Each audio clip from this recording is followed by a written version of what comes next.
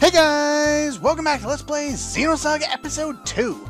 Last time, Jin kept throwing salt over his shoulder, whatever the hell that action is supposed to be. If we wait here long enough, eventually he'll run out of salt, and he won't do anything. Not really, I just have no idea why he continues to do that at such a frequent pace. Anyway, last time we did a little bit of dicking around, we got a few new items, unlocked a couple of doors, got some new secret keys, most of which we won't be putting to use at this point. But for now, let's move forward with the plot and go straight for Miltia. Or at least that's the plan. Momo, how's the enemy fleet trace? They're headed for point E52 at combat speed. Damn, they got some guts to be charging in there that fast. That Isn't that what you did all of last game? Of course, at this rate, we're never gonna catch them. Captain, I must warn you. What is it? Make it quick.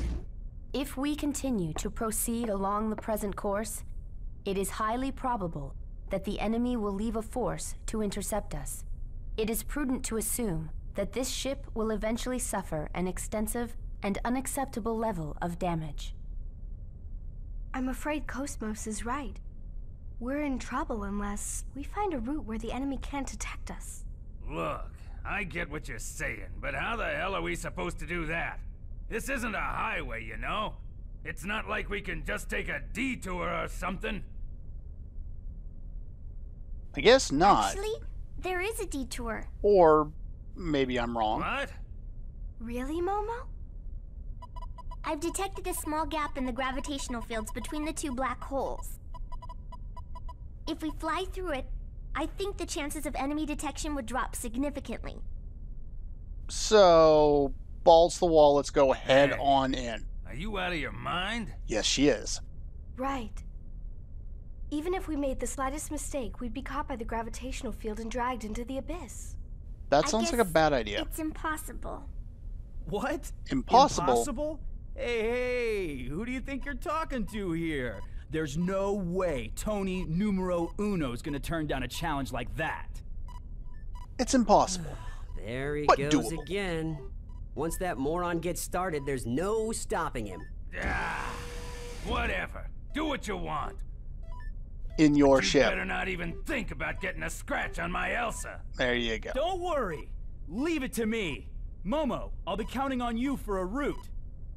Yeah, as long as he's driving, we won't have to worry about a scratch. The whole ship will have exploded because he'll drive into something he probably shouldn't have. Yeah, that sounds about right. Anyway, uh, now is as good a time, I guess, as any to announce that I have, even though I said like a week ago that I had stopped my run, uh, or my test run of episode 3, well, it's kind of done. I got some time off work, and yeah, I just went balls to the wall. So it's all finished. I've done Whoa, everything radar I and can sonar in are it. both dead. We're not getting any readings. It's almost like we'd be better off flying blindfolded. With Tony, you, most of the time, detected yes. a massive distortion in the space ahead of the Elsa. A large mass is about to gate out. What? They're gating out here? That sounds like a bad idea unless you're something that's got a lot of power.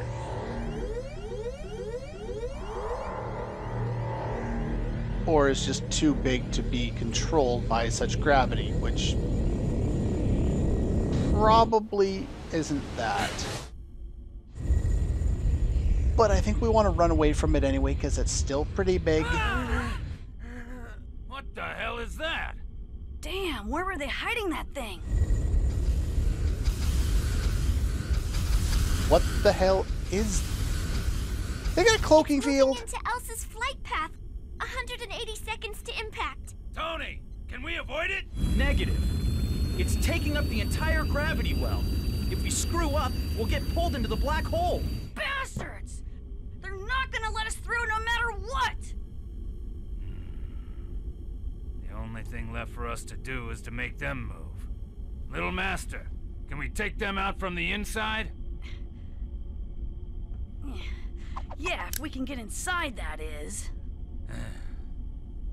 Tony, Maintain present course and increase to maximum speed. Hammer, disengage all weapon safety locks. Don't worry about Amy. Just let loose with everything we've got. Little tiny ship. Smack dab into that thing's belly. It's time you guys showed me what you're made of. Versus Space Station. I think we're gonna lose this fight. We're definitely gonna lose this fight.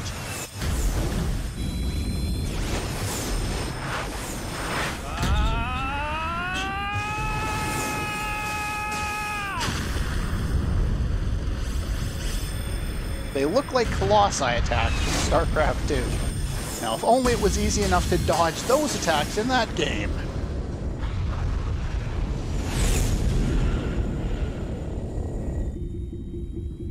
A very effective defense, and that really was kind of underwhelming considering how massive and surprising this was. It just, oh, by the way, few seconds, we win. And then they ignore us. Well, I guess they're they're not ignoring us. And I guess I spoke too soon. Good catch. KOS-MOS, you have magnetic boots. No effect.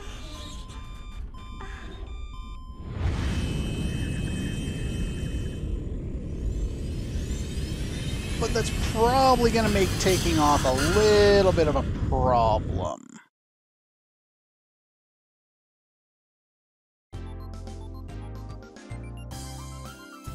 A little rough. I think we just lost a wing. Pretty big force. We'll take the ESs, including one that they haven't even announced that we have yet. Can I go through the door, please? Thank you. Yeah, the door doesn't like me. Oh well. Um, let's run over the healing point one more time, even though I probably don't need to. And this door over here is no longer barred. It'll only be barred in areas where you can't go out in your ES. Now we actually can go out in the ES, so it's no longer barred.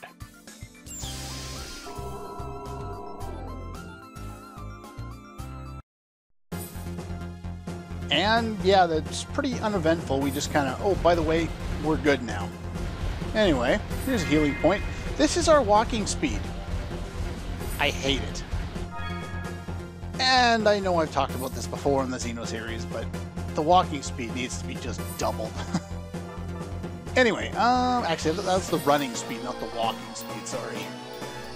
Okay, so as you can see, we are able to have two people per mech, and if you take a look at the combatant side on the left and the reserve on the right, you'll notice that we can actually control who goes with who, and we can only have two in the party at one time. So we don't get all three mechs going for us. That's kind of unfortunate.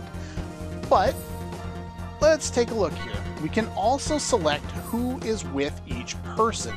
Now, from what I recall, I want you together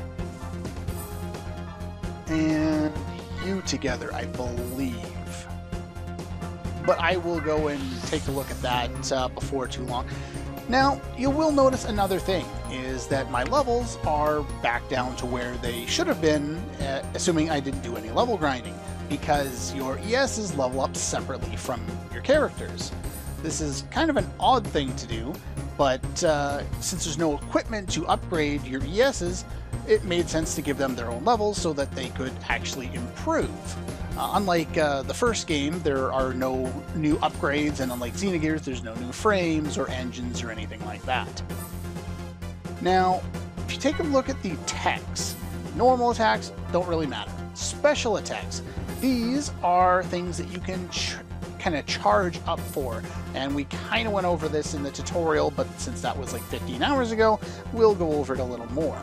Now that we have more characters, you can take a look on here.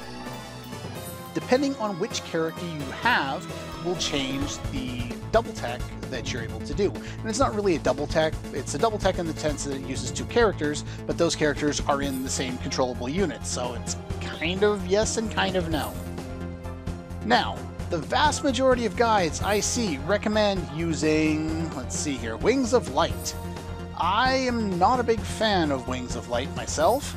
Um, it's fine, but uh, I, for the most part, I think I'd rather go for Chain Blast because if I do that, then I can put it with Golden Bow. I could go Wings of Light with uh, Chain Blast as well, but I tend to like using Zebulon because, as they mentioned before, the Zebulon is the only mech able to heal, and I want to have two attacks that are aura based because aura seems to be the best way to deal with a lot of bosses, at least through the first four or five mech bosses that we fight.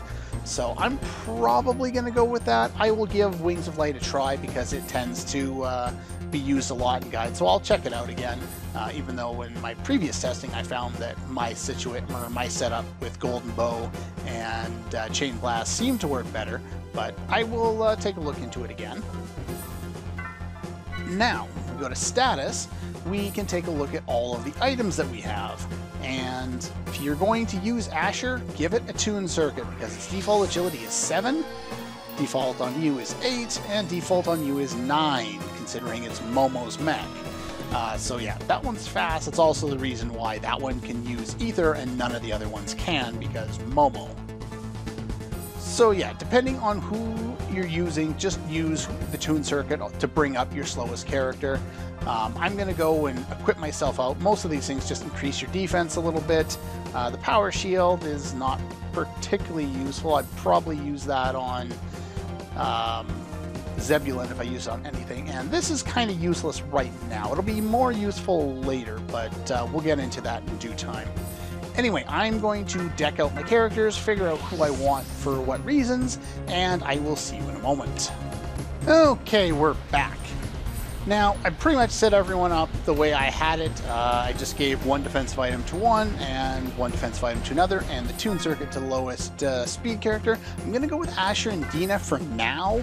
Uh, once we get around to boss time, I will be using someone else, though. I will be using Zebulon because you really do need access to Ether in boss fights.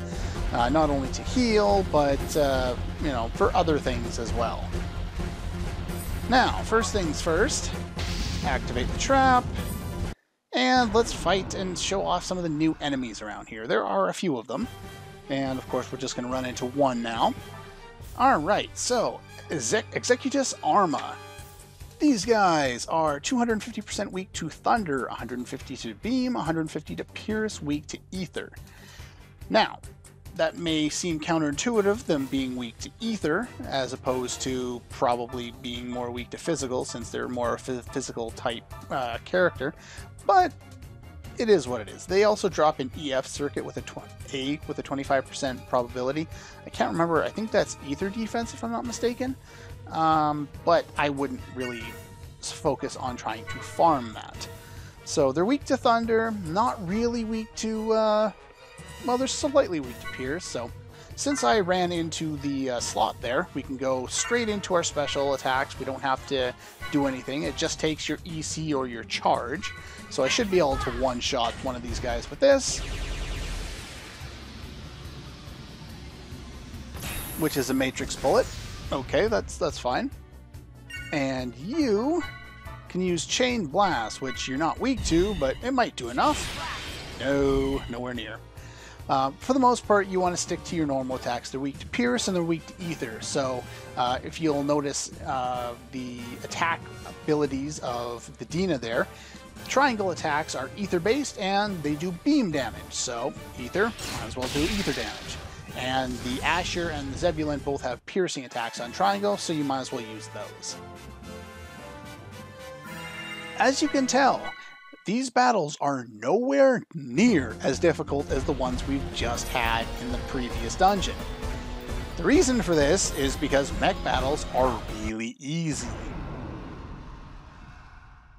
Here we have, okay, the same new enemy. There are actually two variants of the Sarah 7. There's also Sarah 6 enemies, and two variants of that one at that. Uh, the two versions of the 7 are both weak 250% to slash and 150% to um, hit. Uh, one of them is, uh, this one actually, is 200% to hit, but uh, they're both weak to physical and they're both weak to aura. So they also have a 10% chance of dropping beam armor, anti-beam armor, which would be very helpful, and I would like to pick one of those up. So I'm going to try and hit it with pierce damage, or aura damage. And since, is it you? It is you. So I'm going to stop with you so that I can get up to my uh, chain blast ability again. And I'm going to have you focus down the other one with your piercing attacks. Unfortunately, even though it doesn't seem like it, uh, Dina's beam damage actually does reasonable damage to these as well, so a lot of the bios aren't really the best. Unfortunately, it's rather difficult to uh, to kind of balance all that stuff out for whatever reason. Even though the guide says one thing, they seem to take slightly more damage from this or from that than the guide would suggest that they would be. Again, I mentioned this before uh, when we first were introduced to the mechs, but all mech battles do not contain skill points, and since obviously the mechs level up separately, it's all about the experience points for them. So we don't need to worry about killing enemies on specific slots or anything like that. So just get points and try and level up that's pretty much it. So anyway, I do want to fight a few of those guys off screen to make sure I get some beam armor, because that would be helpful. But I will uh, do that uh, in between episodes, since we're coming close on that time anyway. Attack this thing, and we will have access to another one of those uh, Encephalon dive uh, points that we can't do anything with until post-game. That one was pretty cool, admittedly another forbidden device. Now, take a look at the speed of walking and think, does it really need to be this slow or should it be this speed? Even this isn't particularly fast. Actually, there's an enemy down here I can fight. And we have another new enemy. Two new enemies, in fact. This is the Sarah 6. Uh, just like the Sarah 7, they look very similar. There's two varieties, a S variant and an F variant. They're both 250% weak to Pierce, 150 to Aura. And they, one of them, the uh, the F variant, this one, has a chance to drop a G stun guard, and the S variant can drop an auxiliary armor B, which is the items that we already have equipped that give us a little more defense. So both of those would be relatively nice to get. Uh, the stun guard, not nearly as much. Um, this guy up here is one of the other new enemies, the Cannon Dude, and he is 150% weak to Beam, 150% weak to Thunder, 150 to Pierce, and he can't drop anything particularly useful, so hit it with a Pierce attack, uh, which I don't have right now, but this one should do enough damage to take it out anyway. There we go. And that's all we really need to worry about. Uh, so Pierce for you. There we go, that's some nice damage.